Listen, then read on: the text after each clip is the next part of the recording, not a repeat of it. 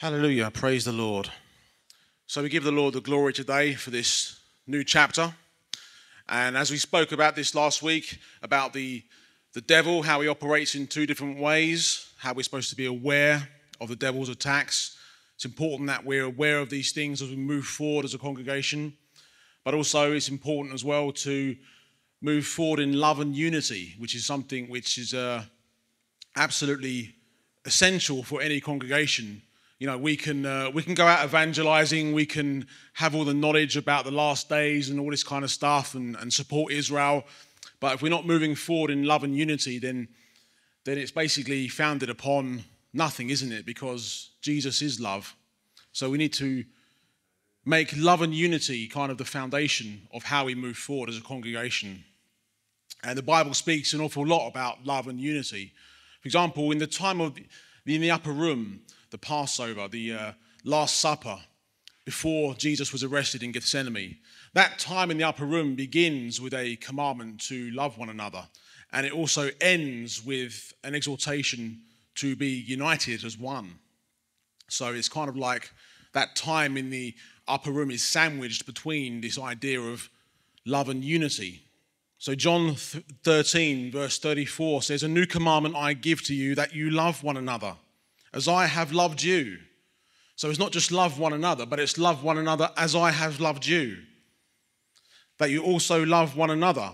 By this, will know, you will know that you are my disciples if you have love one another. So, how do we actually achieve a love like this for one another, where Jesus says that we must love one another as he has loved us? Well, Ephesians chapter 4 is a chapter in the Bible that speaks an awful lot about this. So please turn to Ephesians chapter 4. Those who have heard me teach on the book of Ephesians before, the book of Ephesians is kind of written in a very clever way in that it's divided into two halves. Chapters 1 to 3, Paul focuses on everything that God has done for you all that God has done for you and everything that you need to know before you can even think about how you're going to walk with Him.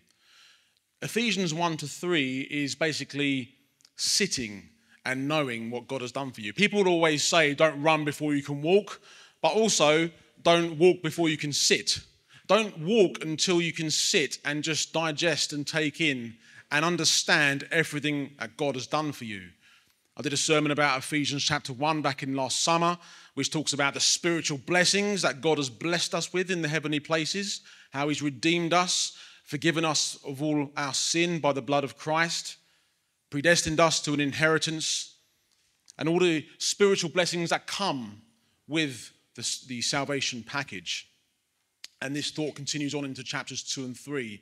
It's not until chapter 4 where Paul then begins to shift the focus upon you and what you must do in response to what God has done. Now, remember, everything that we do for God must always be in response to what He has done for us. There's nothing that we can ever do to earn God's favor, there's nothing we can ever do to deserve eternal life or God's grace. It's all about what God has done for us by sending Jesus Christ as an atoning sacrifice for our sin.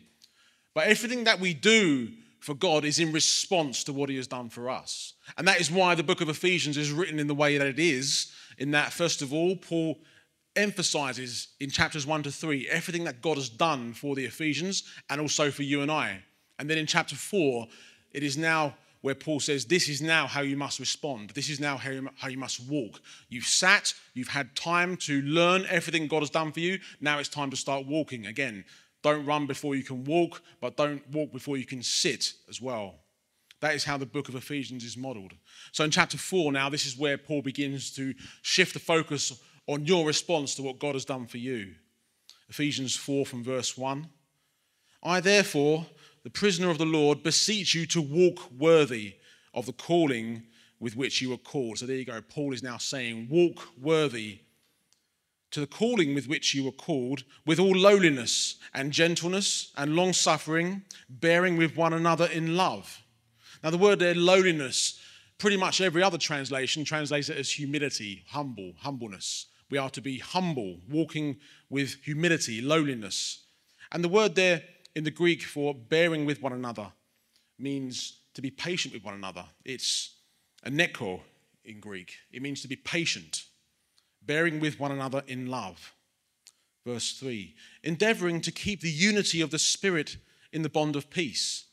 There is one body and one Spirit, just as you were called in one hope of your calling, one Lord, one faith, one baptism, one God and Father of all, who is above all and through all and in you all.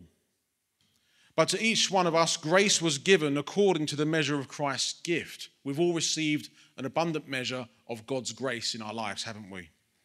Therefore, he says, when he ascended on high, he led captivity captive and gave gifts to men. That's actually a quote from Psalm 68, verse 18, right there. Now, this he ascended, what does that mean? But that he also first descended into the lower parts of the earth. He who descended is also the one who ascended far above all the heavens that he might fill all, all things. That's basically a reference to Jesus going down into Hades to set the captives free who are waiting for the Messiah to come. There's references about that in 1 Peter. Verse 11 And he himself gave some to be apostles, some prophets, some evangelists, and some pastors and teachers for the equipping of the saints for the work of the ministry and for the edifying of the body of Christ. This is why God has put these things in place for the edifying of the body of Christ. Till we all come to the unity of the faith and of the knowledge of the Son of God, to a perfect man, to the measure of the stature of the fullness of Christ, that we should no longer be children tossed to and fro and carried about with every wind of doctrine. I'll come back to that verse a bit later by the trickery of men, in the cunning craftiness of deceitful plotting. But speaking the truth in love may grow up in all things into him who is the head, Christ. Who is the head? Christ, isn't he? He's the head of the church, not the Pope. Christ is the head of the church. Verse 16 From whom the whole body joined and knit together by what every joint supplies, according to the effective working by which every part does its share causes growth of the body for the edifying of itself in love. Now, 1 Corinthians chapter 12 talks about that, how there's many parts of the body. A body does not consist of a bunch of hands or a bunch of feet or a bunch of heads. A body has different parts for different functions. And that's exactly how the body of Christ works, in that there are different members and different giftings and different callings, all of which are essential for the functioning of the body. Now, it's the same with any team, isn't it? If you had a soccer team, for example, you'll have guys with different abilities. The guys who play at the back in defense tend to be quite big guys, normally over six foot, not normally the quickest guys, but they're normally quite tough guys, aren't they? The guys who play in midfield, you know, you've got some of them quicker guys who are really, really nippy. You've got some of the guys who are quite aggressive, they play in midfield as well. And then at the front in the strike the strikers you got you know the guys who are really accurate with their shots and passes and things like this. So you've got a wide range of different abilities in a soccer team. It's the same with the body of christ. We all have different giftings and callings all of which are essential to the body. Again more about that in 1 corinthians 12 verse 17 this I say, therefore, and testify in the Lord, that you should no longer walk as the rest of the Gentiles walk, in the futility of their mind.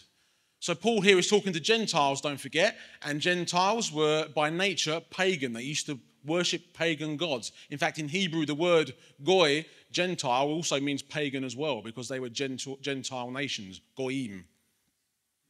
Do not walk as the rest of the Gentiles walk in the futility of their mind, having their understanding darkened, being alienated from the life of God because of the ignorance that is in them, because of the blindness of their heart. Again, some of these Gentiles, still to this day, nothing has changed. Pretty, pretty dark, depraved practices that we see among the Gentile nations. Who, being past feeling, have given themselves over to lewdness, to work all uncleanness with greediness. Being past feeling. Did you hear that? First Timothy 4 talks about one having their conscience seared with a hot iron. These people basically go so far and deep into their sin that they go past the point of no return. God basically hands them over to their sin. Romans 1 talks about this, doesn't it? Romans 1 talks about how God abandons people to their sin Basically, because they are past feeling, their conscience basically no longer functions. They're not even aware or sensitive to what sin even is. And that's why they basically live this life dark and alienated from God. Verse 20 But you have not so learned about Christ, if indeed you have heard him and have been taught by him, as the truth is in Jesus, that you put off concerning your former conduct the old man which grows corrupt according to the deceitful lusts, and be renewed in the spirit of your mind, and that you put on the new man which was created according to God. So we literally to throw off our old sinful nature, just like you would take off an old ragged garment. We spoke about this a couple of weeks ago when we looked at Zechariah chapter 3. Our old filthy garments, the sinful garments that we once had. We literally throw them off like a old garment and then we put on the new man, the new nature. Peter says we are now partakers of the divine nature. So, in other words, we don't have that sinful nature anymore. We now have the nature of God. We now love the same things that God loves and we hate the same things that God hates. Before we was born again, it was the other way around, wasn't it? The world hates what God loves and loves what God hates. But now, when we come into the kingdom of God, it's flipped around, isn't it? We are now in line with his word and that is why we are partakers of the divine nature, as Peter says.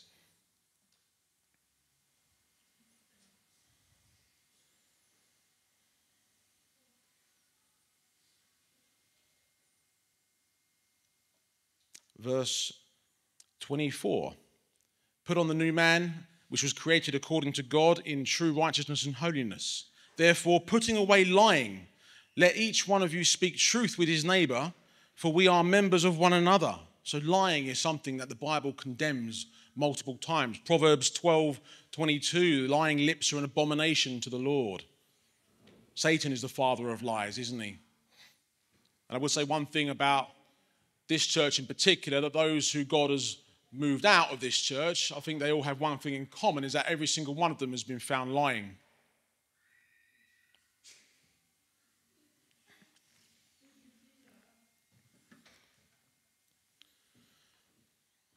Verse 26 Be angry and do not sin. Do not let the sun go down on your wrath, nor give place to the devil. Be angry and do not sin. Why is it saying, Be angry and do not sin? It's not saying, Don't be angry and don't sin. It's saying, Be angry and do not sin. Because anger is not a bad thing, as long as it's righteous anger. There's many examples of righteous anger we can draw from Scripture. The most obvious one being when Jesus entered the temple to see all the corruption going on and made a whip of cords and drove out all the corrupt money changers. An example of righteous anger. Anger is a good thing. The reason that Jesus was so angry when he saw what he saw is because A, it was taking place in the house of God. Not the first time Jesus ever saw corruption, you can be sure, but when it was taking place in the house of God, that's different. And also because of his, his godly nature. Hebrews 1 tells us he is the exact imprint of the nature of God. So the anger that he had was righteous anger. And this is what this is talking about. Be angry and do not sin. In other words, don't let your anger become unrighteous anger, uncontrollable anger. Do not let the sun go down on your wrath. In other words, get your anger out now and sort out your problems before you go to sleep. Don't go to sleep angry because what does it say? Nor give place to the devil. In other words, if you go to sleep on your anger, if you go to sleep having unresolved wrath, then you've given a foothold to the devil. This is how the devil gets in. He uses opportunities like this. And it's your job to minimize those opportunities for the enemy.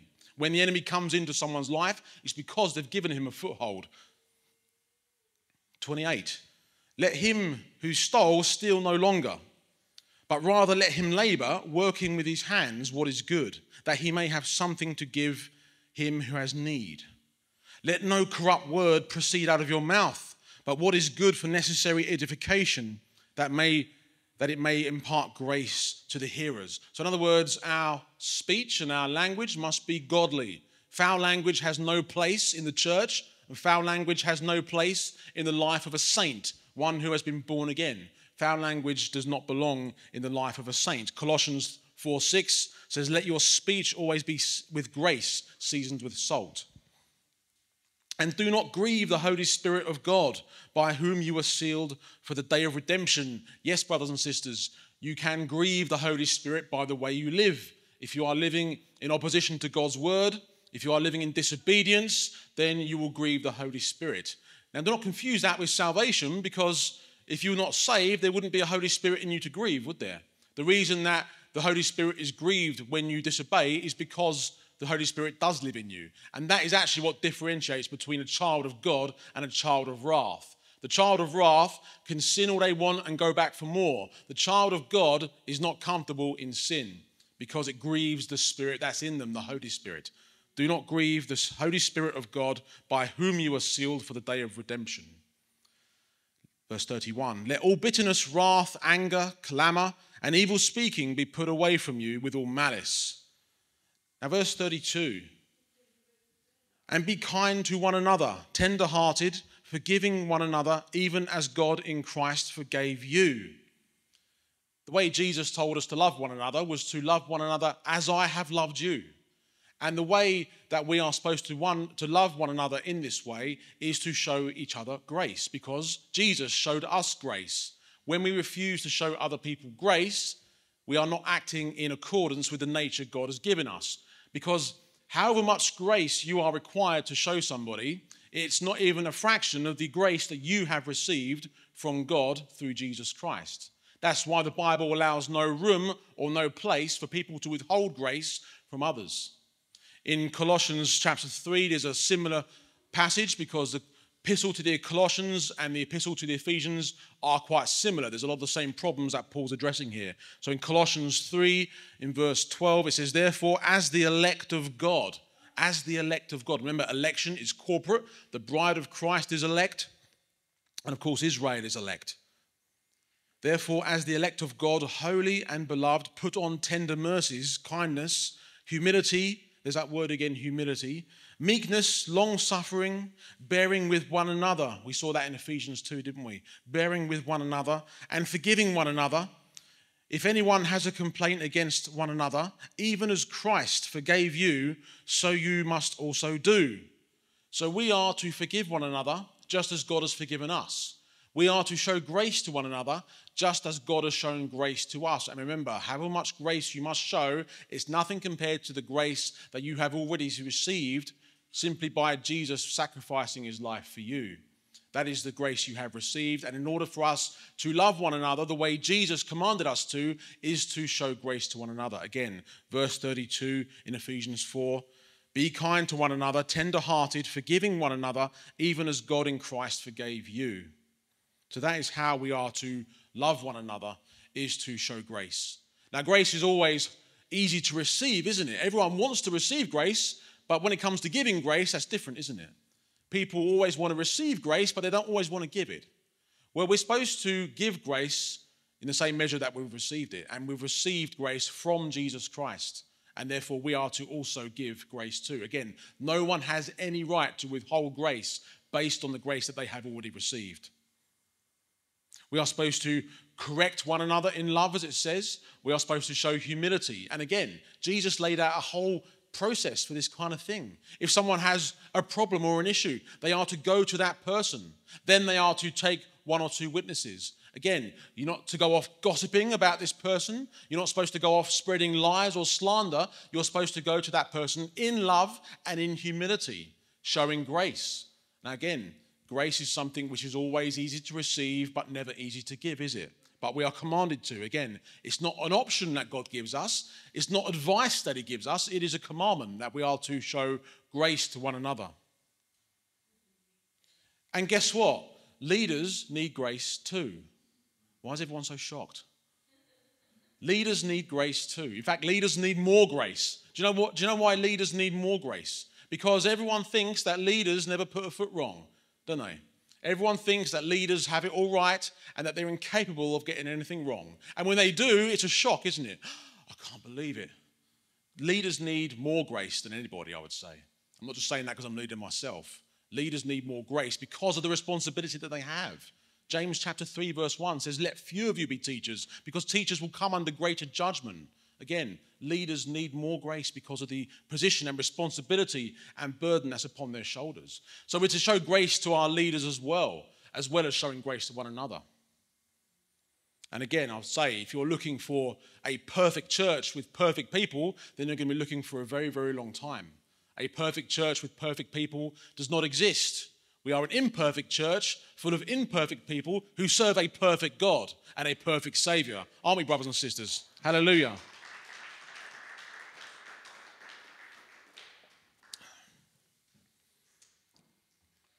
Turn now to Philippians chapter 1. I'm going to look at a couple of passages from Philippians, which again talks a lot about love and how our love is to look. Because the world has its own idea of love, doesn't it? We even hear every June, love is love. Well, that's the world's idea of love. That's not God's idea of love. God's idea of love is actually found here in Philippians chapter 1 from verse 9. Is everyone there? Philippians chapter 1 in verse 9. And this I pray that your love may abound still more and more in knowledge and all discernment. Did you hear that? That your love may abound more and more in knowledge and all discernment. That you may approve the things which are excellent, that you may be sincere and without offense till the day of Christ. The word there, sincere, is quite interesting because in Latin it literally means without wax. In French it would be sincere, and in Spanish it's very similar. Sincere, it literally means without wax. Now, when they used to sell all these statues in the Roman markets, they would often have statues that were, for example, chipped. They'd like a nose that had been chipped off. So what they'd do is they'd grind down the marble, they'd mix it with wax, and then they'd try and make the nose look look new again in order to be able to sell it. In other words, it's not sincere, it's not without wax. And then what happens in that hot Middle Eastern sun is that wax melts and then that nose falls apart because it's been faked. Well, that's what it's telling us to be. We are to be without wax. Again, it's literally the word sincere, it means without wax. We are to be genuine, we're to be authentic, not fake, without offense till the day of Christ. So our love is to abound in knowledge and all discernment. In other words, if you don't have knowledge of the Word of God, if you don't have discernment, then you can't show love to others. You can't show biblical love to others. You can show worldly love, the world's idea of love, but in order to show biblical, godly love, you must have knowledge of the God who is love.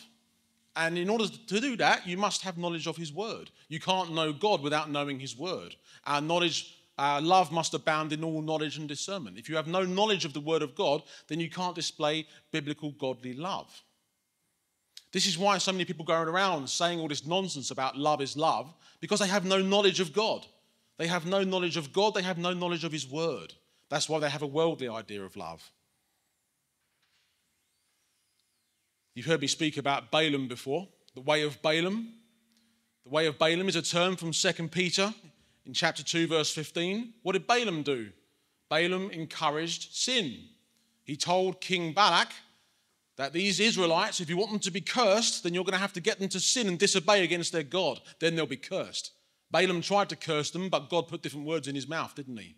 And that's why Balaam said, if you want them to be cursed, you get them to sin, and then they'll be cursed. And then they sent down all the pagan Moabite women and they committed acts of fornication and idolatry with these women. And what happened? That plague came among the Israelites and wiped out 24,000 Israelites, didn't it?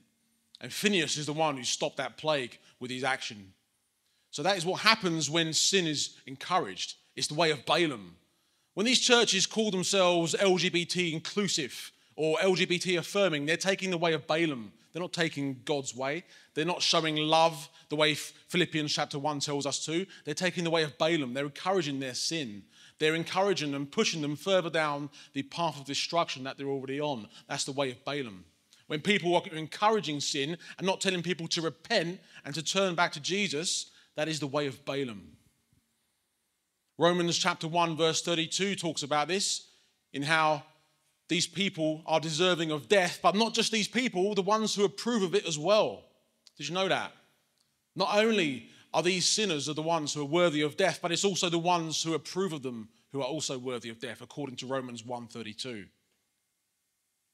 Romans 12, verse 9 says, Love must be sincere. There's that word sincere again, without wax. Love must be sincere.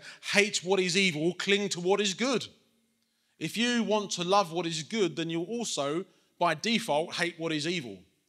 Does God hate? Yes, He does. He hates what is evil, He hates sin. He loves and He also hates. In fact, the reason that He loves is because He hates. 1 Corinthians 13, verse 6, the love chapter.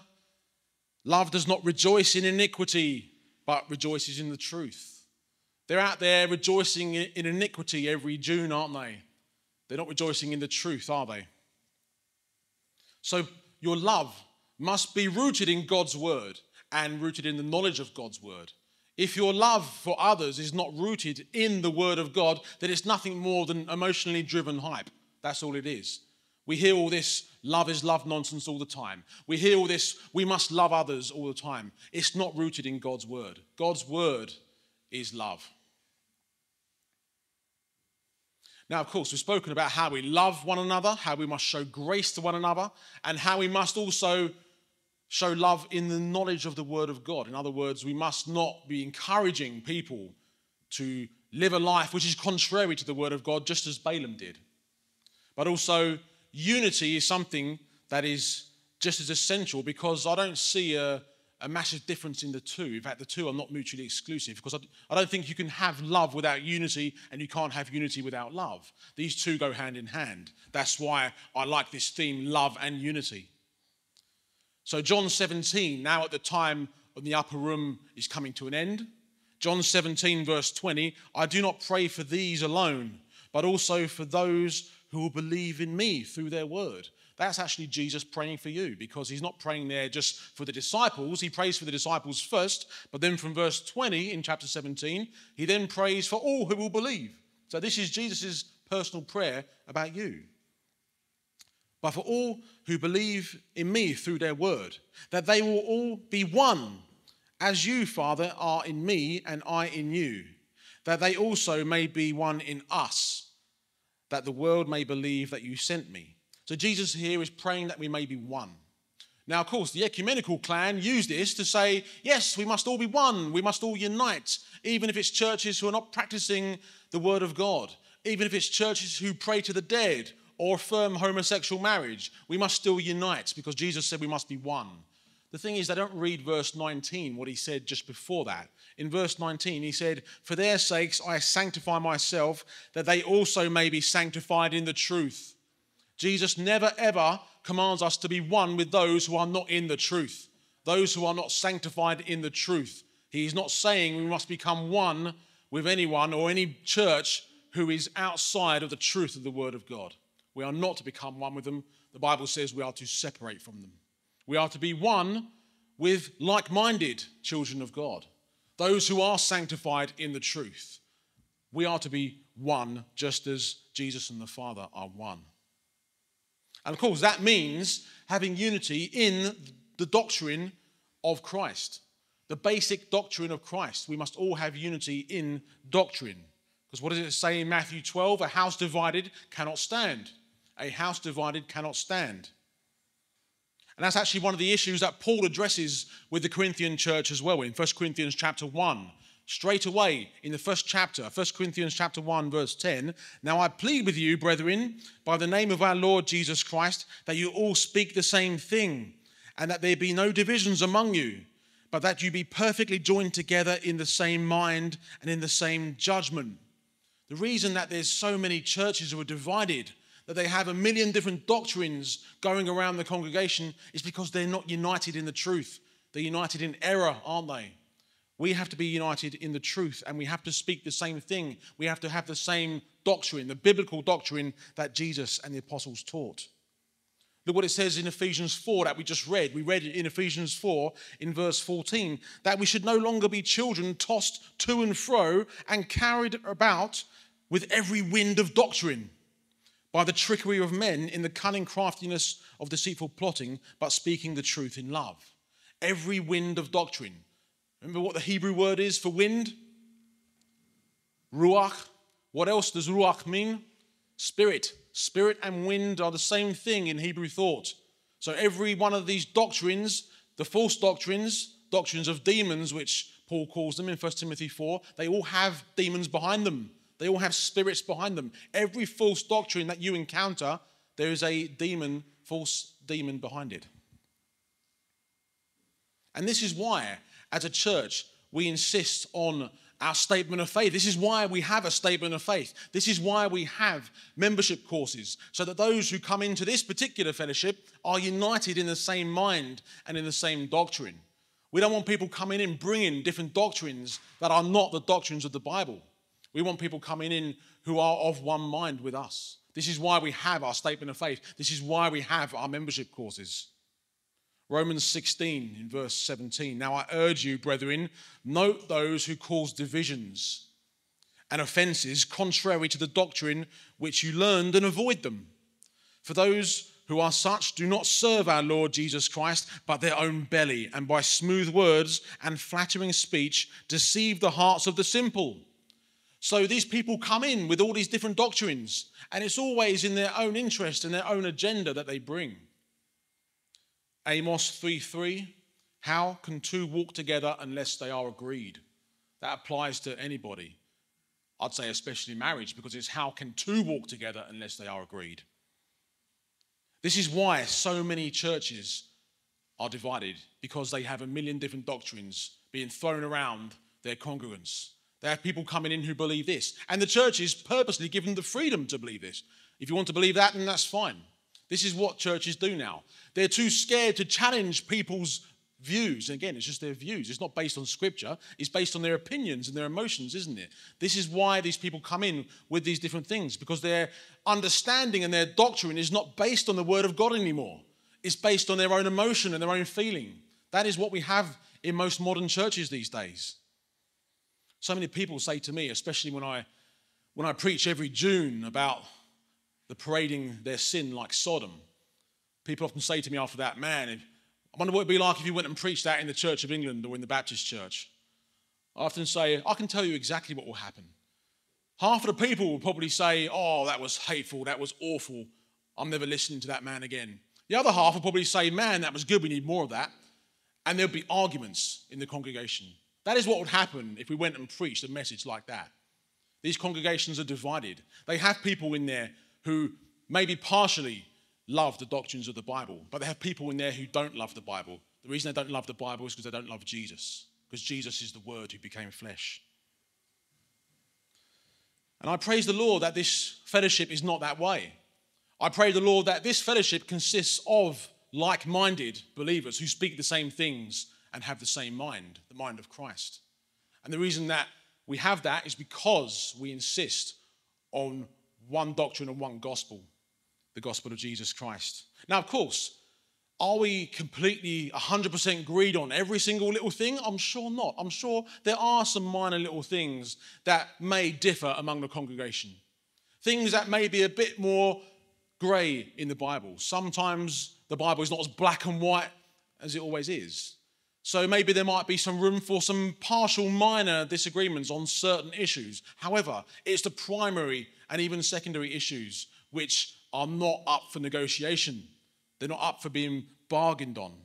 Now, Paul called this the gospel of first importance in 1 Corinthians 15:3 when he's talking about how Jesus died for our sins according to the scriptures and then rose from the dead on the third day according to the scriptures. He called this of first importance. In the New King James, this word is slightly differently, but he said this is of first importance. In other words, that is the one thing that we need to agree on the gospel, the basic gospel of Jesus Christ. If there is no room for error. Now, that is also why Paul, again, is a Paul now insisting on this one gospel. In Galatians chapter 1, in verse 8, whoever preaches a different gospel, let him be accursed. Now, these Galatians were not going around preaching a different faith or a different religion. They were preaching Christ. They were preaching Christ resurrected as the Son of God. And then they were saying, but now you need to observe this set of laws. You need to do this. You need to get circumcised. You need to observe the Sabbath. And you need to observe the dietary laws, all this kind of thing. Well, Paul says, whoever is preaching a different gospel, let him be accursed. Paul insists on that one gospel. And any variation of it is anathema in the Greek, accursed. It means to be set apart for destruction. And just like in the Galatians, the Ephesians also had the same problem because we see in Acts chapter 20, in verse 28, where Paul is saying goodbye to the Ephesians. I, I believe I read this verse last week. In Acts 20, verse 28, therefore take heed to yourselves and to all the flock, among which the Holy Spirit has made you overseers, to shepherd the church of God, which he purchased with his own blood. For I know this, that after my departure, savage wolves will come in among you, not sparing the flock. Also, from among yourselves, men will rise up, speaking perverse things, to draw away the disciples after themselves. What did we say last week? The devil will try and come in from the outside, and he will try and come in from the inside as well, with all these different doctrines, which Paul in 1 Timothy 4 called doctrines of demons. Speaking of 1 Timothy, in chapter 3, in verse 7, he says, As I urged you when I went to Macedonia, remain in Ephesus. Again, this was a problem in the church in Ephesus. Remain in Ephesus that you may charge some that they teach no other doctrine. Paul did not allow any room for any other doctrine to be taught, nor give heed to fables, myths in some translations, fables and endless genealogies, which cause disputes rather than godly edification, which is in faith. Now, the purpose of the commandment is love from a pure heart from a good conscience and from sincere faith. Is that word sincere once again? From which some, having strayed, have turned aside to idle talk, desiring to be teachers of the law, understanding neither what they say nor the things which they affirm. He's saying that these people do not understand what they're talking about, they have no clue. These people who come in and try and teach a different doctrine contrary to what was already taught, he's saying these people haven't got a clue. They understand nothing. And we've seen many times before that unfortunately, God is not the only one who sends people into churches. Satan also sends them into churches as well. As I said last week, the difference is, is that God will always get rid of those who Satan has sent in. And those who God has sent in will always be made apparent. John is another one who insisted on one doctrine and no variation. In 2 John, 2 John verse 9, Whoever transgresses and does not abide in the doctrine of Christ does not have God. He who abides in the doctrine of Christ has both the Father and the Son. If anyone comes to you and does not bring this doctrine, do not receive him into your house, nor greet him, for he who greets him shares in his evil deeds. Did you hear that? He who greets him shares in his evil deeds. In other words, these people who welcome those who bring false doctrine they're as bad as the ones who bring the false doctrine. He who welcomes him shares in his evil deeds. Now, a way that we also remain united as a church, not just our love and the doctrine that we all keep, the doctrine of Christ, is to also remain in constant fellowship. God did not save any of us to be alone, He saved us to be together. The reason that he saved us, of course, was for Christ's sake, as it says. However, he didn't save us to just let us go and do our own thing. He saved us to then bring us together as believers. And that's why in Hebrews 10, in verse 25, it says, Do not forsake the assembling of ourselves together or the gathering of the brethren, as is the manner of some. Again, this is something the writer of Hebrews is rebuking here. As is the manner of some, but exhorting one another and so much the more as you see the day approaching. Now, people often quote this verse Do not forsake the gathering of the brethren, do not forsake the assembling of ourselves with each other. But they don't read on the whole verse. It says, so much, so, so much more as you see the day approaching. What that means is, is that as we get closer to the end, fellowship will become more and more important. It will be more and more important for us to remain together and to remain united the closer we get to the return of Christ. As you see the day approaching, the more this becomes important. Now, what the writer of Hebrews is actually doing here, he's using a Hebrew way of speaking called kal ve'omer. Kalve homer. It means light and heavy. Light and heavy. What it means is, it means that something which is already true, something which is already important, something which is already urgent becomes even more urgent, becomes even more important as we get closer to the end. That's a Hebrew way of thinking called kal vehomer, light and heavy. Something is already true, something is already important, but it becomes even more important and even more urgent. Just like fellowship. Fellowship is important, but it's going to become more important the closer we get to the return of Christ. Because this world is getting dark, brothers and sisters. This world is getting very, very dark. The time is going to come where we're going to have to meet in basements, just like they do in China or Saudi Arabia. The time is going to come where true born again Christians are going to be persecuted and not going to be allowed to meet in a nice hall like this. So, fellowship will become more and more important the closer we get to the end. It's important now, but it becomes more important and more urgent the closer we get to the return of Christ. Now, these people who often break away from fellowships for no good reason, they say there's a reason which exists only in their own mind normally. It's normally because they've been hurt, possibly as well, by, by bad leadership. You know, I used to go to church many years ago, but then the pastor was caught embezzling money, so I don't go to church anymore. If the pastor was caught embezzling money, then just find a better church. God did not save you to be alone in the faith. These lone wolves who go around normally just want to seek after their own desire, and that's what it says in Proverbs 18, verse 1. It says, Whoever isolates himself seeks his own desire he breaks out against all sound judgment. A fool takes no pleasure in understanding, but only in expressing his opinion. So these people who break away from fellowship because they claim that the Lord has led them to, it's not because of the direction the fellowship's going in, it's because of the direction they're going in. And why are we told to remain in constant fellowship? Because animals go around in packs, don't they? They don't go around like lone wolves, they go around in packs. Why? Because they're safer that way. When predatory animals like lions or something go around hunting, they'll go after the ones who have strayed from the pack. You could have a pack of animals, and then one or two have gone astray. They're the ones the devil's going to pick off. They're the ones the devil's going to devour. What does it say in 1 Peter 5 in verse 8? Be sober minded and watchful, for your adversary, the devil, prowls around like a roaring lion, seeking someone to devour. The devil is going to devour those who have strayed from the pack. When you're in the pack, you are safer. You're less of a target. If you've decided that you want to break away from the pack and do your own thing, then you are now a target for the enemy. He's going to devour you.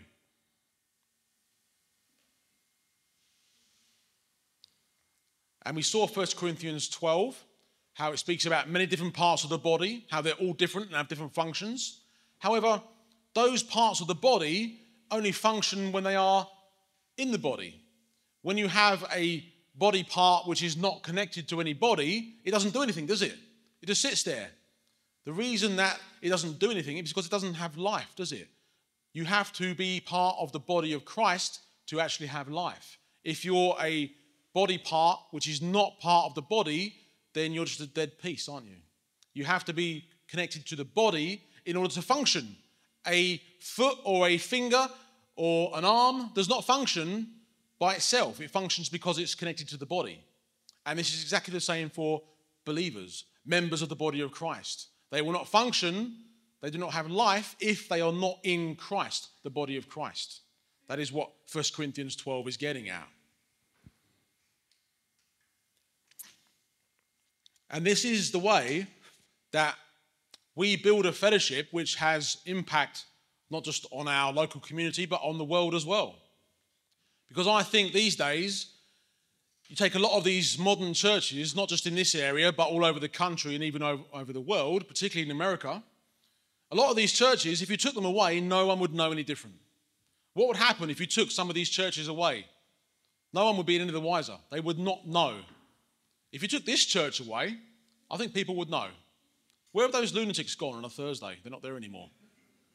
People would know if this church disappeared. And that's the sort of church that we want to be, brothers and sisters a church that has impact and a church that people know is present and a church that people will know is gone if ever we was disappeared. That's the sort of church that we want to build, a church which has impact. And the way that we do that is to have love and unity among the congregation, to show grace to one another, humility, which I'm going to speak about just now, and united in the same doctrine and in constant fellowship with one another. That is how we remain a church who has impact. Because if not, if we don't have those things, we're a church who has no impact, just like the other Laodicean churches out there now. They have no impact, and if you took them away, no one would know any different. That is not the sort of church we want to be, brothers and sisters. If you're still in Philippians, go to chapter 2. Because again, love and unity is something the Bible speaks about a lot, and something else the Bible speaks about a lot is humility. Humility, something else, again, people tend to not like to show. Grace and humility are two difficult things for the man or woman to show. And in Philippians 2, it gives us an example of humility, the best example. Philippians 2 from verse 1. Therefore, if any is in therefore, if there is any consolation in Christ, if any comfort of love, if any fellowship of the Spirit, if any affection and mercy, fulfill my joy by being like minded, having the same love, being of one accord and of one mind. There's that exhortation again to be of one accord and of one mind. Let nothing be done through selfish ambition or conceit, but in lowliness of mind, that's humility again, in lowliness of mind, let each esteem others better than himself. Let each of you look out not only for his own interests, but also for the interests of others. And now in verse 5, he goes on to use the best possible example of humility the world has ever seen. Let this mind be in you, which was also in Christ Jesus, who, being in the form of God, did not consider it robbery to be equal with God, but made himself of no reputation, taking the form of a bondservant and coming in the likeness of men. Jesus Christ was God in the flesh, and yet he humbled himself to become a man in the likeness of men. And being found in appearance as a man, he humbled himself and became obedient to the point of death, even the death of a cross. Not only did he humble himself and become a man just like you and I, but he also went to the cross. Therefore, God has also highly exalted him and given him the name which is above every name.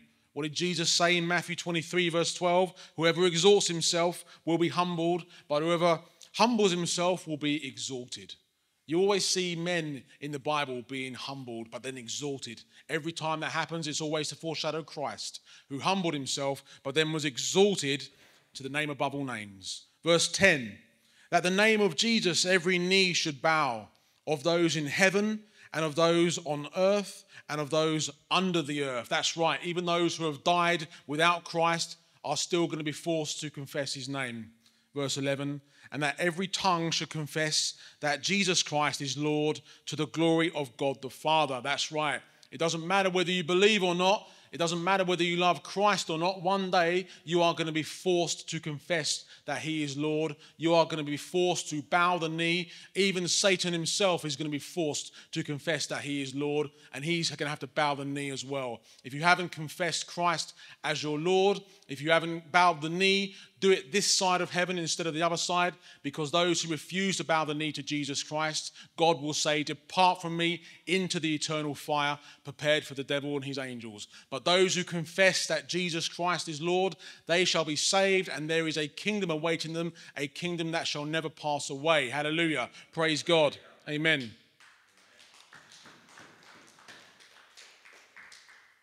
And as usual, the Bible does not say to be hearers of the word, but doers of the word. So when we hear these things, these instructions, these are not my instructions, these are God's instructions. We are to put them into practice in our life. Let us pray now for the strength to do that. Dear Heavenly Father, we do thank you so much for this day and for this gathering. We thank you, Lord, for these men and women of God who are here today to fellowship, to worship you, and to hear the word of God. And Lord, this word that you've instructed me to teach today, Lord, Help us to not just hear it, but to put it into practice in our lives as individuals and also as a church family. Lord, we pray that you will just help us to do those things which goes against the nature of man, to show grace, to forgive one another, to be humble, and also to be united in the same doctrine, the doctrine of Christ, the gospel of our Lord and Savior Jesus Christ. Help us, Lord, to remain on that narrow way. Help us to not divert away from that path that you have ordained for us, Lord. Help us to remain steadfast upon your word. Help us to not compromise, just like those other churches have, Lord. But help us to remain standing upon the rock.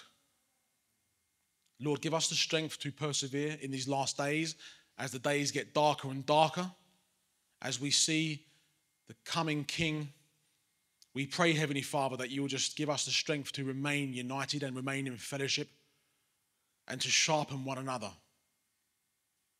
And Lord, we do thank you again for the truth of your word. Thank you that we have this word. Thank you, Lord, that you've given us the spirit of truth to lead us into all truth. And that you've sealed us, Lord, with that spirit for the day of redemption.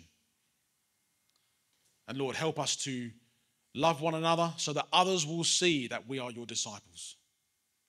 Help us to be shining lights for Jesus Christ. Help us to be good ambassadors of Jesus Christ in this dark kingdom. But above all, Lord, we want to give you thanks for our personal salvation, the fact that each of us have experienced a personal redemption from Egypt, that each of us who are born again have been snatched out of the fires of hell and transferred into the kingdom of God. Not because we deserve to, but because you have shown us so much grace, Lord, that we can never even match. We thank you, Lord, for saving us. We thank you for sending your only Son as an atoning sacrifice for our sin. And we thank you that we will also reign with him as kings and priests when he returns to reign on David's throne. And Lord, we long for that day and we look forward to that day. But we praise you and thank you. We lift your name above all names, the Lord of Lords, the King of Kings, Yeshua HaMashiach, Jesus Christ of Nazareth, in whose name we pray. Amen. Amen. Hallelujah. Praise Jesus. We love you, Jesus. Thank you.